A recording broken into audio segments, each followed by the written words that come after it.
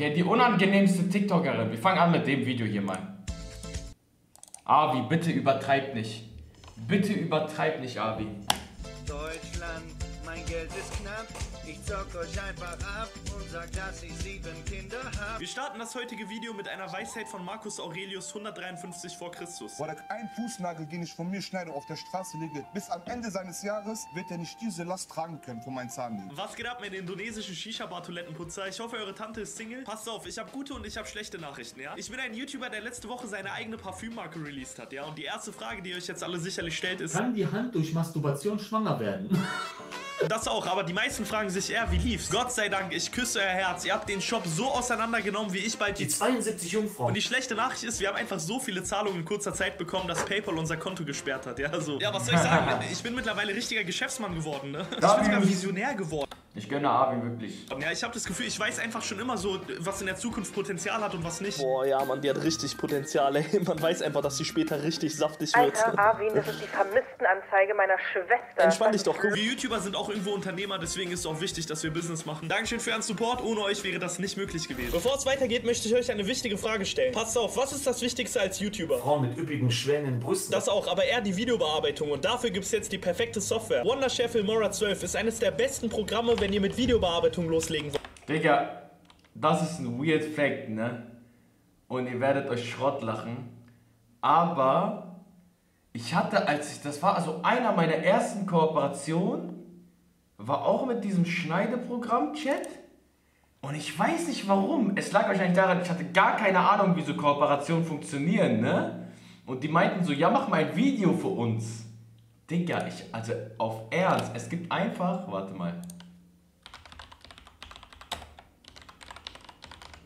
Digga, das ist so unangenehm, ne? Das, äh, guckt euch das an, hier. Ei. Das ist gar nicht auf meinem Kanal.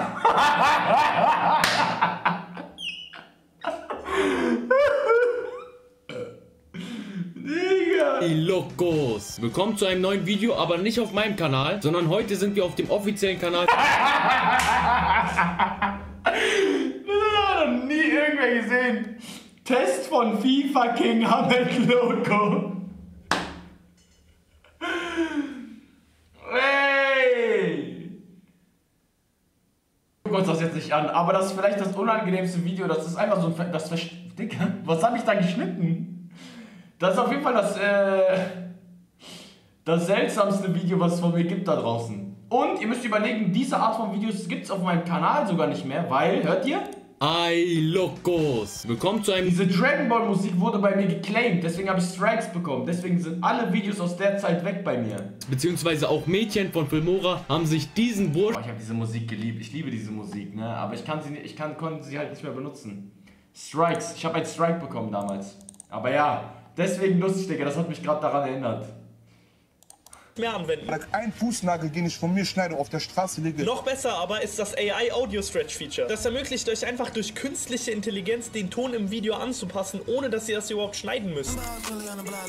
Ich wusste nicht mal, dass sowas geht. Aber jetzt kommen wir zur mit Abstand besten Funktion und zwar das Draw Mask Tool. Mit diesem Tool kann man Sachen aus dem Video ausschneiden, die Farben von Objekten ändern und so weiter. Wenn ihr dann noch ein Adjustment Layer hinzufügt, könnt ihr denselben Effekt auf mehrere Clips anwenden und bam, ihr habt ein geiles Video. Nein, ich bin nicht behindert. Du bist behindert. Wenn ihr also eure Schwester liebt, dann geht jetzt auf den ersten Link ganz oben in der Videobeschreibung. Supportet mich und ladet euch jetzt Wondershare Filmora 12 runter. Weiter geht's mit dem Video.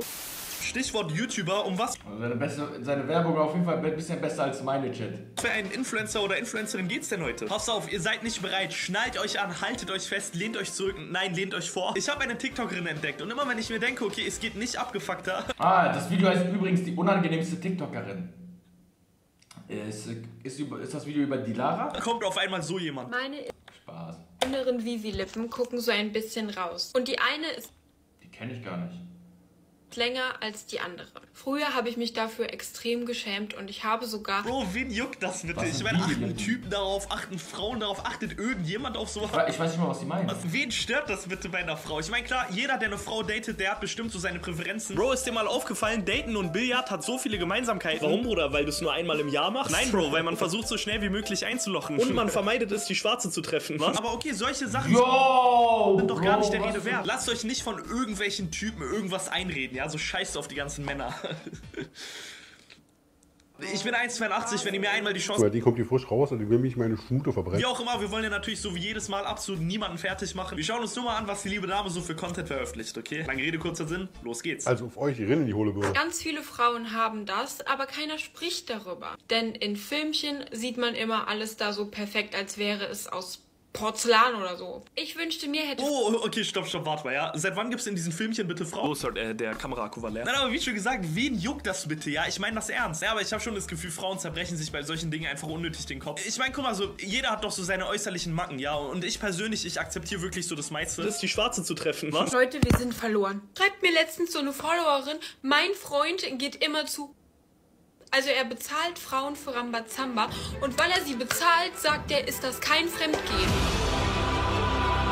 Ey, warte mal, ich kenne auch einen und der ist sogar YouTuber, okay?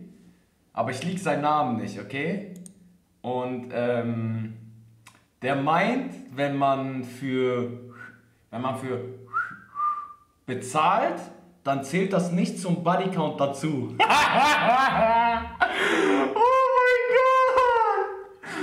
Was eine Aussage, Chat. Und jetzt kommt, das hat er auch gemeint, nachdem er diese Dienste in Anspruch genommen hat.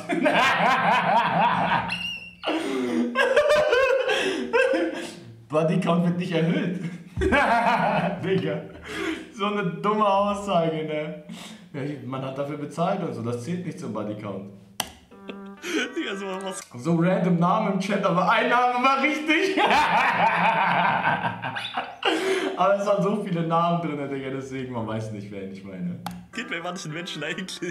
Der Bruder hat Relativitätstheorie umgeschrieben. Na, aber ich verstehe schon, was sein Punkt ist. Ja, er will wahrscheinlich so darauf hinaus, okay, ich habe keine emotionale Bindung zu den Frauen und ich will einfach nur Druck rauslassen, ja, so mäßig. Ob man diesen Punkt jetzt durchgehen lässt oder nicht, ähm, werde ich jetzt nicht bestimmen. Wird ja für alle Ewigkeiten in der Hölle landen. Es gibt aber wesentlich schlimmere Dinge, die in einer Beziehung laufen könnten, ja. Ich weiß nicht, ob ich euch schon mal erzählt hatte, wie meine letzte Beziehung ausgegangen ist. Meine Freundin geht mir, denke ich, fremd. Ich habe ihr, ihr Handy und sie hat Bilder von irgendeinem anderen Typen drauf und ich gehe sie jetzt damit konfrontieren. Schatz, du bist mir, glaube ich, eine Erklärung hierfür schuldig. Ach, Schatz, Mann, diese Bilder sind doch alt. Das ist mir egal, was soll das hey, bitte? Was ist denn daran schlimm, alte Bilder von mir selbst zu haben? Und diese arme F Ja! Yo! Ich habe mit allem gerechnet. Ich dachte, jetzt kommt wieder so ein minderjährigen Joke von ihm. Alter, der Joke war lustig. Oh, weißt du, ich meine, der ging, der war stark. Followerin so, also für mich ist das Fremdgehen. Wie siehst du das, Marie? Natürlich ist das Fremdgehen, Bruder. Sie auch so. Hey, ja und lass sie doch so. Vielleicht war sie kurz davor, das zu akzeptieren und beide waren kurz davor, eine glückliche und äh, ehrliche Beziehung zu führen. Mann, oh Mann, Marie, du hast jetzt einfach deren Beziehung zerstört. Ja, das geht ja mal so gar nicht. Ich meine, guck mal, okay, klar, ich handle jetzt auch nicht immer perfekt in allen Situationen. Vermisstenanzeige meiner Schwester. Aber ey, der Typ ist... Ey, was ist für euch Fremdgehen, äh, Chat? Beziehungsweise, was ist für euch in einer Beziehung schon zu viel? Sag mal die Grenze, wo ihr so sagt, na, das geht gar nicht schon. Sag mal. Also, Digga, wenn jetzt irgendwer kommt mit, ja, wenn sie jetzt hier in der K Klassengruppe ist, dann ist wirklich, dann haben wir im Chat auf jeden Fall ein Niveau von gleich null. Küssen? Küssen? Mit ihr Fortnite spielen? Bruder! Ah, egal, okay. Mit anderen Frauen rausgehen, wenn sie mit einem Mann telefoniert umarmen, Digga, das ist bei mir schon viel, es fängt bei mir schon viel früher an. Ich finde, ein Mädchen geht schon fremd, wenn sie bewusst mit einem Jungen flirtet. Das schon. Für mich ist das schon Fremdgehen. Also, was heißt Fremdgehen? Für mich ist das halt mit einem anderen Jungen in der Beziehung flirten und das ist für mich schon Grund genug zu sagen, Bro, bist nicht ready für so eine ernste Beziehung, geh, bleib einfach alleine und dann kannst du auch alleine flirten, so. Wisst ihr, ich meine, ich hätte zum Beispiel keinen Bock, eine Partnerin zu haben, stell euch mal vor, die ist so flirty unterwegs und die flirtet so mit anderen Jungs, dann würde ich mir denken, okay, darf sie, also soll sie machen, aber bitte ohne mich, weil im Endeffekt, die Jungs wissen vielleicht sogar, dass ich ihr Freund bin und wie unangenehm wäre das für mich. Ich will so, ich will ja stolz auf meine Freundin sein und nicht mich schämen, Digga. Und ich würde mich dick schämen, Digga, wenn meine Freundin so mit anderen Jungs flirtet, hä? Oder dann, dann flirte mit anderen Jungs, aber ohne mich, Alter, alleine. Also ab dann ist für mich schon Fremdgehen. Reicht schon für mich. Wisst ihr? Und auf Ernst hört sich weird an, aber so flirten kann man ja auch mit Augenkontakt und so. Und wenn man so, einfach wenn man das bewusst macht, ich würde das ja niemals mitbekommen, aber angenommen, man bekommt das mit. Einfach bewusst mit einem Jungen flirten. Call me Yannick, danke für den Resub im achten, mein Bruder. Acht Monate sind wir jetzt zusammen, schön. Immerhin ehrlich zu ihr und Okay, guck mal, einer schreibt für mich Jim. Ich weiß, dass es manche Jungs abfuckt, wenn Freundin in den Gym geht und so, aber Bro, wie, was soll sie nicht mehr rausgehen? Weißt du, ich meine?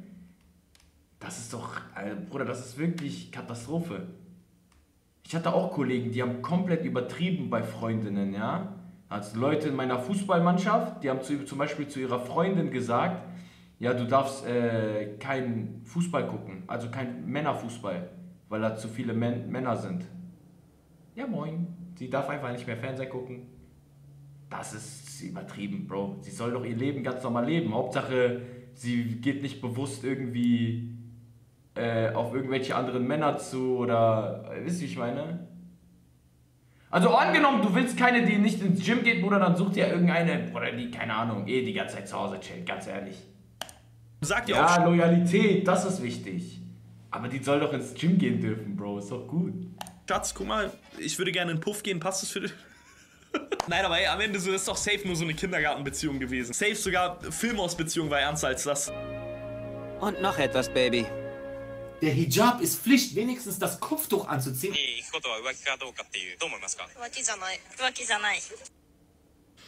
Die Ansprüche an Männer sind hier unten. Können wir die bitte anheben? Dankeschön. Alles klar, natürlich sind Ansprüche an Männer weit unten, ja. Bro, wenn hier jemand niedrige Ansprüche am anderen Geschlecht hat, dann sind das ja mal 90% der Männer. Kennt ihr nicht dieses Jahr Frauen? Er muss 1,80 sein, er muss viel Geld haben, er muss breit sein. Männer, wenn sie die McDonalds-Kassiererin sind. Ich liebe es, Dicker. Ne? Manche Frauen sehen hier so wie hier so einen absolut. Ey, das ist aber ehrlich so, ne? Und Real Talk, keiner kann mir sagen, dass das nicht stimmt. Aber Frauen haben safe mehr Ansprüche, beziehungsweise lieben Männer nicht, wie Männer Frauen lieben. Ein Mann verliebt sich einfach in eine, in eine Frau, so vom optischen plus Charakter plus Ausstrahlung, okay? So, sonst hat es mit gar nichts was zu tun. Vielleicht auch noch Style und so, aber es gehört ja zu optischen. Eine Frau verliebt sich aber auch in das, was der Mann hat, Besitztümer. Also das gehört bei, also das ist auf Ernst, keiner kann mir sagen, dass das nicht sogar eher so ist als andersrum. Weil stellt euch mal vor, ein Mann ist extrem reich und er hat so, er ist so Millionär. Und er lernt eine Frau kennen und die hat nicht so viel. Juckt ihn das? Nein! Er denkt sich so, ey, ich bring das Geld nach Hause, ist ja egal, ob meine Frau Geld hat oder nicht. Dann verliebt er sich trotzdem in die. Aber stellt euch mal vor, eine Frau ist extrem erfolgreich, hat sehr, sehr viel Geld und so. Könntet ihr euch vorstellen, dass sie dann auch so einen armen Mann trifft und sie sagt sich so, ach, ist doch egal, dass er kein... Bro, sie will einen, der mehr verdient. Der muss noch mehr verdienen. Das ist, ihr könnt mir nicht sagen, dass das wahrscheinlich ist. Also, es stimmt nicht zu 100%. Heft safe. Es gibt auch Ausnahmen, aber es ist schon eher so. Es ist schon eher so, dass Männer unbedingt lieben und Frauen nur bedingt. Viele Frauen sind aber nicht so, ja, Sophia, ich weiß. Ich weiß, aber es ist eher so. Einfach auch.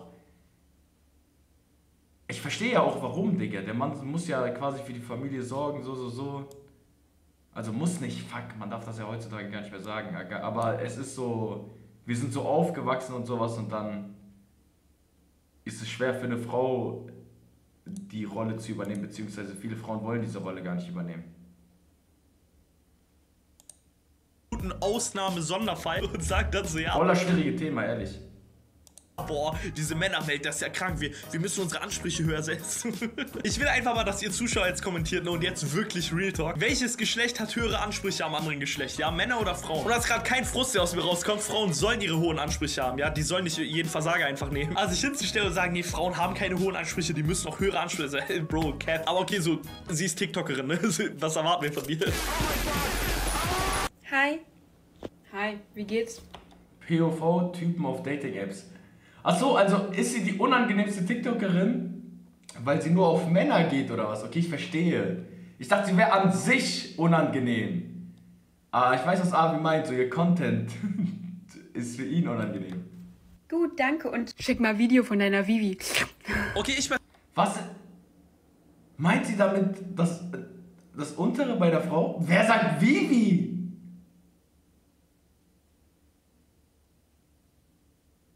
Vivi? Keiner sagt das, Bro. Was? Außerdem, ich kenne keinen einzigen Jungen, der. Also, Bruder, es kann die hübscheste Frau sein, die es gibt. Ich will kein Video davon. Ih. Ich will auch kein Bild, ich will es nicht mal sehen. Bin ich der Einzige?